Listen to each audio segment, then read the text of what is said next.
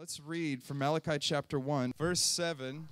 Verse 7 You offer defiled food on my altar, but say, In what way have we defiled you? By saying, The table of the Lord is contemptible. In, in other translations, when it says the table of the Lord, it's speaking of the altar. And what is the altar to the Jewish people? This is where the sacrifices are killed. This is where they're burnt and offered to the Lord. This is the place where the priests come, take the coals from this altar. Where do they take it? Into the, to, to the temple. They put it on this altar of incense and add incense to these burning coals, and the incense arises before the mercy seat. So they're beginning to call this contemptible. The, the word contemptible means like a base or a low or not so important thing. So this is the attitude of the priests at this time. The, the altar, the ministry, and the priests are in the temple. Yeah, it, it's, it's our day to day job. It's not that great. It's, it's actually kind of getting boring and old after a while. Verse 8 And when you offer the blind as a sacrifice, is it not evil? And when you offer the lame and the sick, is it not evil? Offer it then to your governor. Would he be pleased with it? Would he accept you favorably, says the Lord? So they're, they're bringing these, these sacrifices that are so half hearted. You know, can you imagine bringing a cow before your, your governor and half of his eyes kind of out, and the cow's got a bad limp and it's got some, you know, roughed up places on it? Here, governor, we, we brought this to you. We thought you'd be happy with this. And, you know, here's this rich man with power and influence, and he's looking at this straggly cow like, Wow, thanks. I feel really appreciated. No. Do you, do you see the picture here that how God in his heart he's feeling as these people are coming with this half-hearted response just it's out of duty it's out of tradition it's out of our religion that we have to do these you, God you said us to, told us to do this a long time ago so we're doing it and I, we're hope that you're happy and hey who cares if we don't get a perfect one every time like really who who really cares God cares he really does. He's worth perfection. He's worth everything. He's the maker of heaven and earth. And so, what's happening here is their view of God is beginning to come lower and lower. Just the busyness, the cares of life, they just are not carrying that burning passion in their hearts anymore. And I believe that what God is most wanting to do is to elevate and purify our thoughts of who He is in our generation. There is such a need right now in our in from preachers, from mothers, from everybody across the body of Christ that our thoughts would be elevated of who God is, that they would be purified, and that they would be anointed by the Holy Spirit. That when we close our eyes and we think about God, that we can't help but worship. This is what is meant to happen in our hearts. Verse 9, but now entreat God's favor that he may be gracious to us while this is being done by your hands. Will he accept you favorably, says the Lord of hosts? Even if you jump over to chapter 2, verse 2, or I'll read verse 1, this is connected here. It says, And now, O priest, this commandment is for you. If you will not hear, and if you will not take it to heart to give glory to my name, says the Lord of hosts, I will send a curse upon you, and you will curse and I will curse your blessings. Yes, I've cursed them already because you did not take it to heart. So these guys are in a serious place of not recognizing how far that they'd, they'd been falling, how cold their hearts had become. In verse 10, chapter 1 Who is there even among you who would shut the doors, so that you would not kindle fire at my altar in vain? I have no pleasure in you, says the Lord of hosts nor will I accept an offering from your hands. So he's asking, Who is there among you who would just shut the doors? All this worship, this half hearted stuff that you guys are giving me right now, it is in vain. It doesn't mean anything. If it's not moving your heart, it's not going to move my heart. And so God is looking in our hearts today that when, you know, I think about different times as we're in the prayer room and we're, we're praying into different issues. If those issues aren't stirring your heart, they're not going to stir God's heart. He's looking for hearts that are connected to His heart, who are feeling what He's feeling.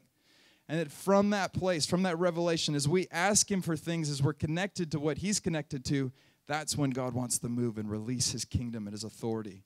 So He's looking for somebody here who has the boldness to recognize that what we're doing is in vain, we're wasting our time, And who's going to just shut the whole temple doors? Let's shut this thing down. Let's entreat the Lord. Let's come back to Him. Let's just stop wasting our time with half heartedness. Let's get our priorities right again and let's give Him what He's worthy of.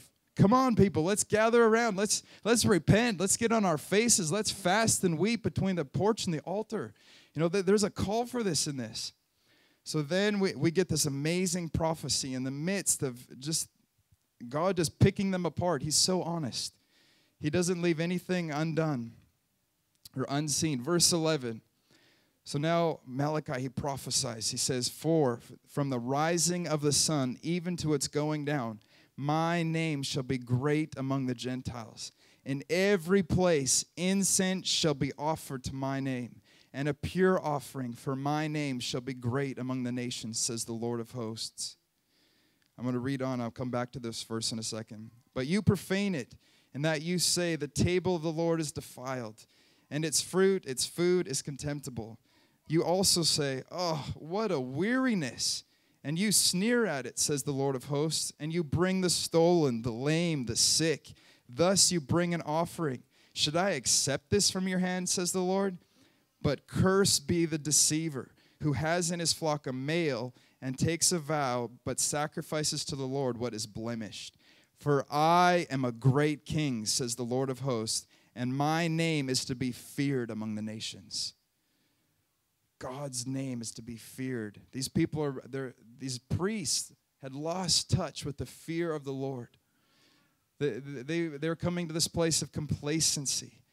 They had lost touch with the greatness of who God is. I want to read it again. This is what God is doing in our generation right now.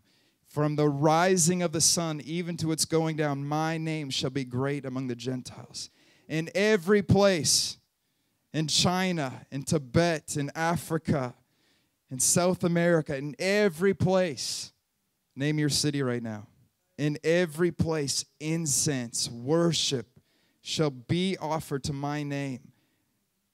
For my name shall be great among the nations. So through, through Malachi, God prophesies to the Jewish people. He says, If you guys will not recognize my greatness, guess what? My salvation is going to go to the Gentiles and they're going to get connected to my greatness. And what's going to happen over time is they begin to have a revelation of who I am and my power and my glory is 24 7, day and night, they're going to begin to worship from the rising of the sun to its going down. And you know what? It's not just going to happen in one geographical area, it's going to begin to happen all over the nations. And you know what's going to happen to you, Jewish people? You know what's going to happen to you, Israel? That when the nations are in their place as those priests, as a kingdom of priests, and they are giving me what is due my name, do you know what's going to happen? It's going to so provoke you, Israel, to jealousy. The, the nations are worshiping your God God, and it's going to turn your hearts, and you're going to see that you were called to be priests before me, and you are going to call out to my name again, and you're going to come back into your rightful place and give me what I'm worthy of because I'm a great king. Amen. So this is this is really where we're going right now that God is releasing this worship and prayer all over the nations right now and he's going to use us extolling him out of that revelation of his greatness out of his glory out of his undescribable worth. It's from that place that we give him this extravagant love. And the Jewish people are eventually going to find out and they're going to look and they're going to hear and they're going to get touched by it and say, We were meant to do that. We want to come back to this. There's a glory, there's a joy, there's a power, there's a calling, there's a destiny, there's a satisfaction, there's a peace in coming back into our, our irrevocable calling to be priests before the living God. Amen. So God's doing this. Oh, and I'm so excited about it.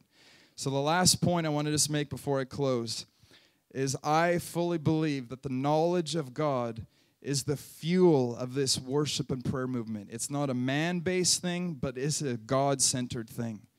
And the knowledge of God, I believe, is the greatest need in the earth right now. What, what am I talking about when I say the knowledge of God?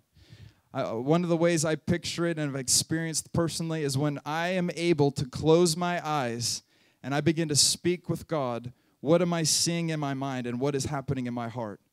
That it is a living reality. Not that I can just quote some Bible verses to you and sound eloquent and no, no, no, no, no. when I'm talking about the knowledge of God, I'm coming from a place where I've connected to who He is.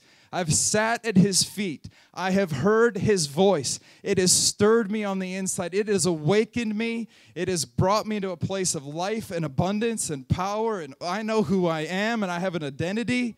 And when now, when I speak about the living God, I'm not giving dry, boring, cold information, but I'm coming from a burning heart.